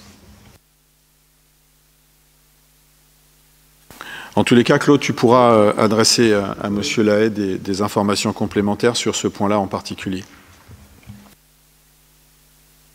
Autre question, Monsieur Lahaye? Non? Claude, pas d'éléments supplémentaires? Non? Donc on va passer au vote. Pas besoin de sortir cette fois-ci. Y a-t-il des votes contre? Madame Dumetz, un vote contre. Des abstentions? Donc un seul vote contre, celui de Madame Dumetz. Merci. Bien, nous allons euh, maintenant nous occuper de la délibération numéro 6 qui concerne l'attribution d'une subvention de fonctionnement 2020 pour le CCAS. C'est Monsieur Mazard qui nous la présente. Oui, nous avons voté dernièrement euh, une avance de subvention pour le CCAS de 3 312,50 euros. On vous propose euh, d'attribuer une subvention totale de 15 000 euros donc, euh, et de verser euh, la différence qui serait de 11 887,50 euros pour l'année 2020.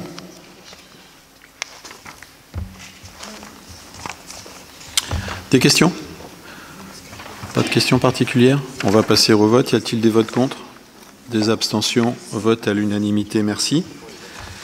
Délibération numéro 7. Taxe locale sur la publicité extérieure. Oui, comme tous Actualisation des tarifs. Pardon, oui. Comme tous les ans, nous, votons l'augmentation de tarifs qui est cette année de 1,42% pour la taxe locale pour la publicité extérieure. Une augmentation tout à fait classique, puisque, par exemple, le premier chiffre, 21,40, euh, l'année dernière, nous étions à 21,10, donc ça fait 30 centimes d'augmentation. Donc on est proposé au conseil municipal d'approuver cette délibération. Applicable janvier 2021.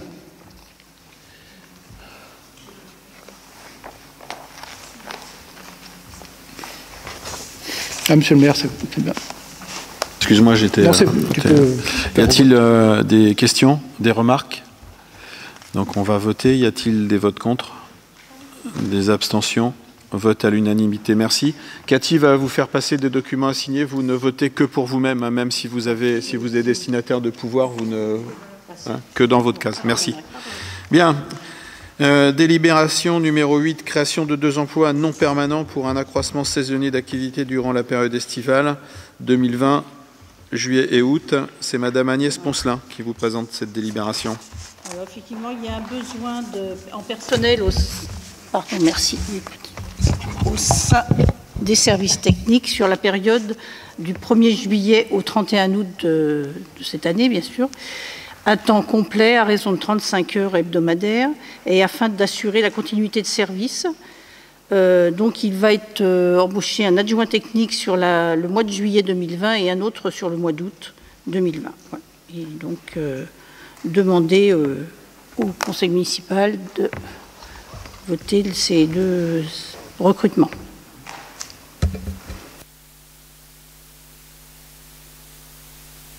Ce qu'on appelle les jobs d'été. Hein.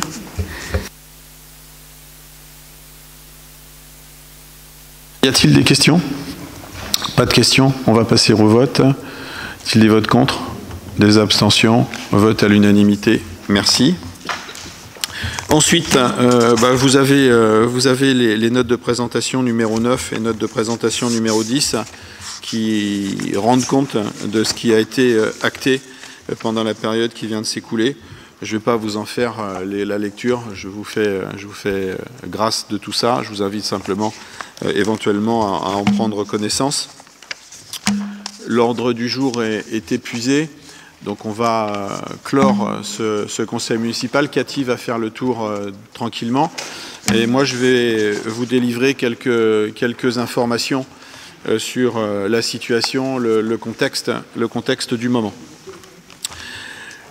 Bien. Euh, la phase de déconfinement a été, a été entamée sur décision gouvernementale le 11 de ce mois, euh, avec un principe fort, c'est que celles et ceux qui doivent rester au travail doivent rester au travail, que celles et ceux euh, qui sont indispensables sur leur lutte de travail euh, se, déplacent, mais qu'en tous les cas, nous soyons les uns et les autres conscients de l'importance de sortir de ce moment difficile pour la France. Difficile individuellement, mais difficile collectivement. Euh, il en va, même si euh, ça peut déranger certains, il en va aussi euh, de l'économie française. Euh, il est clair que l'activité de la, collectivité a été réduite pendant toute la phase de confinement, comme dans le secteur privé, c'est exactement la même chose. Donc n'ont été maintenus sur site que les employés nécessaires à la, à la, bonne marche et à la bonne marche minimum de notre collectivité. Depuis le 11, euh, date officielle du déconfinement, euh, l'activité reprend également euh, pour la collectivité, euh, au rythme d'ailleurs euh, du départ ou de ce qui se passe dans la, société civile.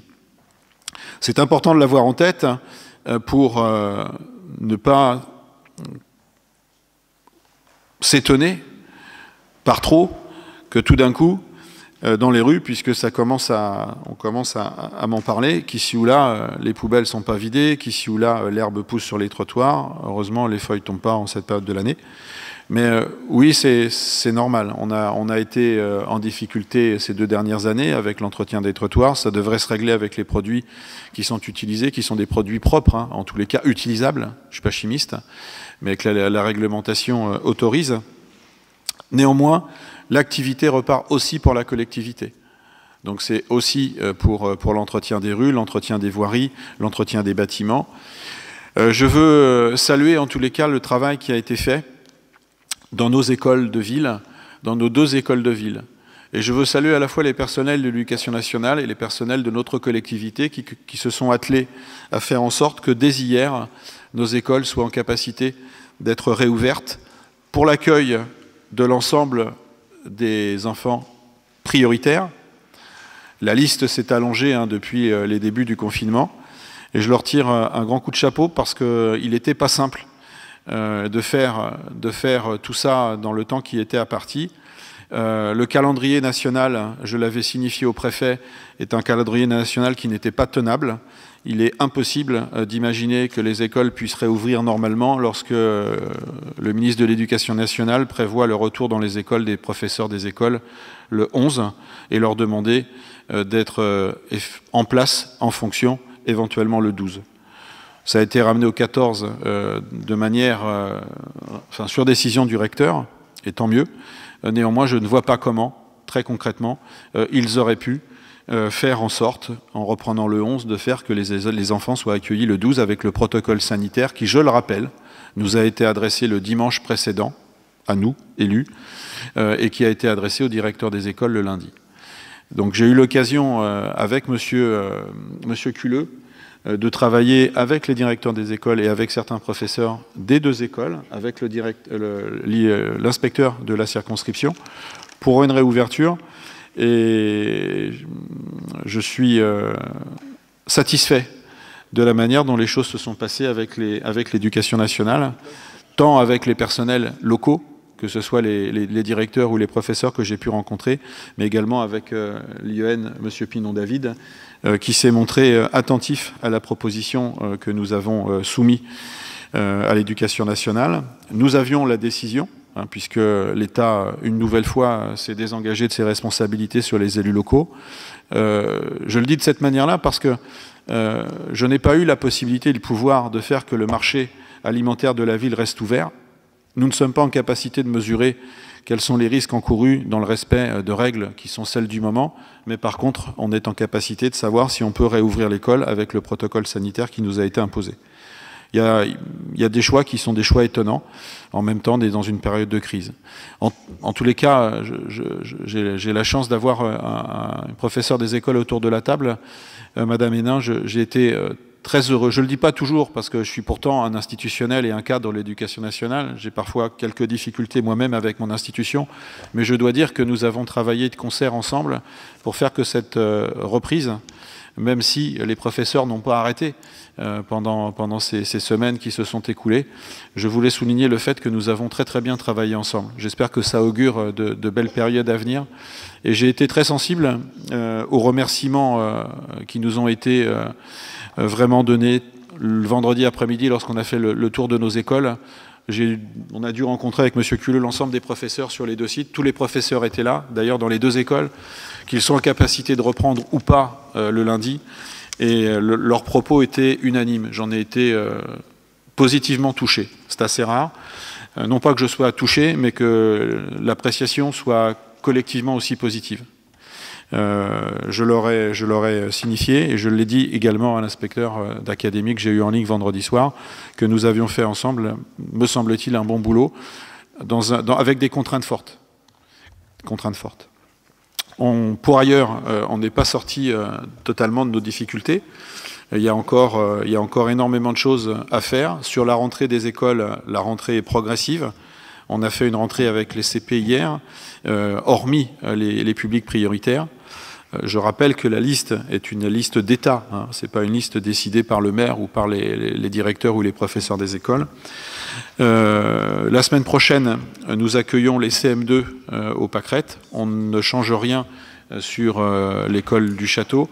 Et à partir du jeudi 28, nous avions souhaité, avec les directeurs d'école, d'aller chercher les enfants qui étaient un peu perdus de vue ou qui s'étaient éloignés de l'école dans cette période un peu longue, avant de voir si, à l'école des Pâquerettes, il est possible d'accueillir d'autres publics, CE1, CE2, CM1, sans que, et c'est l'engagement que j'ai pris auprès des directeurs d'école, euh, sans que la quantité d'élèves accueillis euh, soit impossible à gérer au regard du protocole sanitaire qui est vraiment, vraiment très très lourd. En tous les cas, je voulais, je voulais vous féliciter. Je l'ai fait, mais je le fais en, mon nom et au, sein du conseil municipal. Euh, je souhaitais également euh, indiquer que d'autres euh, situations ont été mises en place. Et je voulais particulièrement et chaleureusement remercier ma première adjointe qui a su, avec, comment dire, son, sa, gentillesse, sa courtoisie, faire en sorte de, nous faire une petite fabrique de, masques. Alors, ce n'était pas des petits Chinois, hein. c'était des petites gournésiennes, bien souvent, mais pas que. et, si on n'avait d'ailleurs pas eu les aléas de l'État, dans les aléas, dans les décisions prises. Le masque est utile, le masque n'est pas utile, le masque est utile, le masque n'est pas utile, euh, puisque nous avions pris l'initiative de réaliser des masques et d'en faire fabriquer dès le premier week-end, donc dès le 19 ou le, jeudi, euh, donc euh, mardi 10, l'élection le 15, 16, 17, 18, le, le mercredi déjà on lançait, et, on a pu noter encore une fois dans cette période qu'il y a énormément de gens de bonne volonté qui immédiatement se manifestent. Euh, si certains euh, se cachent, euh, d'autres sont très présents et manifestent très très vite l'envie de participer et de donner un coup de main. Ça a été le cas des, couturières. Ça n'a pas été le cas que des couturières parce que énormément de gens se sont présents, se sont proposés pour, pour donner un coup de main. bon, c'est souvent dans ces périodes à la fois difficiles que l'on voit le, meilleur et parfois le pire, euh, suivant euh, les velléités et les convictions des uns et des autres. En tous les cas, c'est euh, un message que tu pourras délivrer auprès de, nos petites couturières. Aussi donner les chiffres, parce que si notre commande initiale était de 100 masques pour couvrir les premiers besoins pour se rendre auprès de nos seniors, très rapidement on est passé à, 200, à une demande de 200 masques, et puis au bout du compte, elles en ont quand même fabriqué 3000.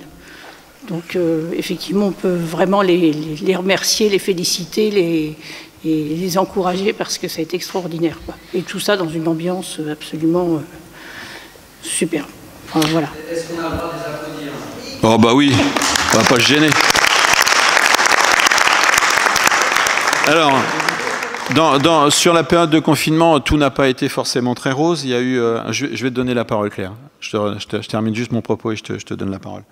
Euh, il y a eu, euh, bien sûr, lié aux difficultés de déplacement, aux, règles de déplacement, il y a eu quelques verbalisations, très peu nombreuses sur la ville. Hein. J'ai eu la commissaire cet après-midi. sur les 2300 verbalisations opérées par le commissariat de Noisy-le-Grand, 50 concernent les Gournésiens. Euh, ce, qui, euh, ce qui confirme ce que je disais, euh, je ne sais plus quand, samedi dernier peut-être, sur les, retours, puisque moi je lis les mains courantes de, la police municipale de Gondet-sur-Marne, mais je n'ai pas forcément les retours réguliers de ce qui se passe sur Noisy, c'est qu'il y a eu très très peu de verbalisation. Très très peu. Et heureusement. Heureusement. Ça veut dire que les Gondésiens se comportent plutôt bien. Et, que, la police parfois se montre également bienveillante. J'ai eu ce sentiment aussi lorsque je me rendais euh, chez les commerçants euh, pendant, la période du confinement où on pouvait observer que les gens se comportaient plutôt correctement, euh, qu'ils attendaient à l'extérieur du magasin. Et d'ailleurs, les commerçants n'ont pas rencontré de difficultés particulières. Pour en terminer avec les masques, nous avions commandé via le territoire 7000 masques. le territoire, en fait, a pris la décision de financer pour l'ensemble des villes du territoire l'acquisition des masques. Ça n'a pas coûté plus euh, à la ville, euh, puisque toutes les villes étaient d'accord pour que le territoire commande. Donc le territoire a commandé l'équivalent d'un masque à minima par personne du territoire. Donc au niveau du prorata, ça n'a pas coûté voilà, à la ville. néanmoins, nous avons malgré tout commandé auprès du, du département l'équivalent de 7000 masques que nous avons euh, reçu d'ailleurs. Euh, les commandes ont été effectuées à la fois par l'EPT comme par le, département. Euh, sur l'EPT avait choisi deux prestataires, un prestataire qui faisait fabriquer ses masques en Tunisie. Très très vite, les collectivités ont compris qu'avec la Chine, ça pouvait, ça devenait difficile, soit parce que on se les faisait taxer sur le tarmac euh, chinois, soit en arrivant là, enfin en tous les cas Tunisie. Ensuite, euh, une société qui est euh, située au Bourget, à Saint-Ouen, pardon. Et pour le, le département, c'est pareil. Le département a essayé de faire jouer et de faire travailler des entreprises françaises, de façon à éviter l'écueil de la, des livraisons et tout ce qui tourne autour de la logistique. Je tiens également aussi à, remercier pour le coup Valérie Pécresse, la présidente de, la région, si l'État a eu beaucoup de mal à, se débrouiller avec, avec les masques, puisqu'il y a encore aujourd'hui des soignants qui sont dans la difficulté. il est à noter que le Conseil régional a été très très actif sur, sur ce terrain-là et a su très très vite euh, commander et euh, nous alimenter en masque très très vite. Euh, dans un premier temps pour nos agents, puisque à l'époque nous ne réussissions pas à obtenir et à commander. Dans un second temps pour les commerçants qui étaient ouverts, ce, qui nous a permis, avec Madame Poncelin, d'aller distribuer un certain nombre de masques et de boîtes de masques dans les, dans les commerces, à l'intention éventuellement des commerçants, avec l'idée que peut-être à un moment donné, le masque deviendrait obligatoire dans l'espace public. Ça n'a jamais été le cas. La région a continué. Je ne suis, pas, euh, suis pas payé par la région pour le dire, mais ce qu'ils ont fait est plutôt remarquable au regard de comment l'État agit. Euh, il en a été de même dans les transports en commun. Et la région, d'ailleurs, va, continuer à essayer de, de, nous doter au moins euh, de, masques euh, rapidement euh, pour, pour une, autre, une autre démarche.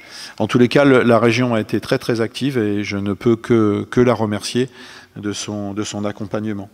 Claire je voulais juste revenir bah, sur, sur quelques points. Juste signaler que les deux écoles, l'école maternelle et l'école des Pâquerettes, sont restées ouvertes pendant toute la période de confinement que les, enfants des personnels soignants, des personnels prioritaires euh, ont été accueillis sur, euh, sur la ville, dans les deux écoles, avec euh, l'accueil le matin au centre de loisirs, la pause méridienne assurée avec les repas à la cantine et l'accueil le soir, ainsi que le mercredi pour le centre de loisirs. je voulais dire que la ville avait pallié parfois un à des manques, notamment pour euh, les masques et le gel hydroalcoolique qui normalement devait être fourni par l'éducation nationale euh, et, on a pu compter sur la ville pour, euh, pour avoir ces matériaux-là. Que pendant toute cette période de confinement, il y a eu des actions solidaires très fortes qui ont été menées, quel que soit le groupe, voilà, mettant vraiment à part tout, tout enjeu politique quelconque, notamment le portage des devoirs pour les enfants qui ne pouvaient pas imprimer le travail scolaire euh, qui était envoyé par les enseignants. Euh, voilà, avec un portage toutes les semaines euh, dans, les, boîtes aux lettres. avec, François Culeux, on a mis en place un groupe solidaire. Et puis bah, sur la mise en place du protocole sanitaire suite à la réouverture des écoles, euh, c'est vrai que ce n'est pas dans toutes les villes qu'il y a eu un coup de main pour euh, bah, déplacer les meubles dans les classes, euh, pour, pour installer au mieux les choses. Et c'était important de se sentir unis dans ces, ces actions-là. Merci Claire. Bien, moi j'en ai terminé avec euh, les, informations générales que je, souhaitais vous, délivrer. Euh, bien évidemment, nous sommes en attente de la décision euh, finale du gouvernement sur la tenue de ce fameux second tour avant l'été ou après l'été. moi, j'ai été amené à prendre position très clairement au lendemain des élections, estimant que ce tour n'aurait jamais dû se dérouler, mais il s'est déroulé. Euh, j'ignore quelles seront les, décisions finales. On parle actuellement euh, du 21 ou du 28. Euh, monsieur le Édouard Philippe, Premier ministre, a indiqué juin, 21 ou 28 juin. Monsieur Édouard Philippe a indiqué qu'il ressolliciterait l'avis du Conseil scientifique d'ici une quinzaine de jours pour voir si la situation sanitaire permet ou pas la tenue des élections d'ici la fin, la, fin de, la fin du mois de juin. Voilà. Je pense qu'on en saura, euh, j'imagine, un peu plus. Bernard, tu disais que c'était peut-être le dernier conseil municipal. On s'était déjà dit ça la dernière fois. Euh, je t'avoue que si jamais les élections devaient se dérouler euh, en septembre ou en octobre, comme ça a été évoqué parfois, bien, on, se retrouverait encore une fois parce qu'on s'est limité à l'essentiel pour faire que la collectivité continue d'avancer mais on aura forcément, euh, au, moins, euh, au moins dans la première quinzaine du mois de juillet, un nouveau rendez-vous. J'en suis désolé. Euh, je ne sais pas si la situation sera réglée à ce moment-là. alors on me glisse un, petit papier indiquant que, bien évidemment, tous les événements villes ont été annulés jusqu'à la fin du mois de juin. au regard de la, de la, de la situation telle qu'elle se présente aujourd'hui. L'idée, souvent, c'est de ne pas engager aussi financièrement la ville sur des projets qui, risqueraient de clapoter, d'autant que l'assurance n'avait pas, enfin beaucoup d'assurances n'avaient pas inclus la pandémie. Alors peut-être ça le sera demain, mais jusqu'à maintenant, ce n'était pas le cas. Voilà. Voilà, sur l'idée du, feu d'artifice, on attendra de voir là aussi comment la situation évolue. Déjà s'il y a une élection avant, etc.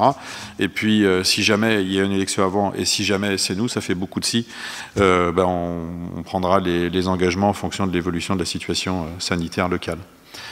Merci de votre attention, belle soirée et au plaisir.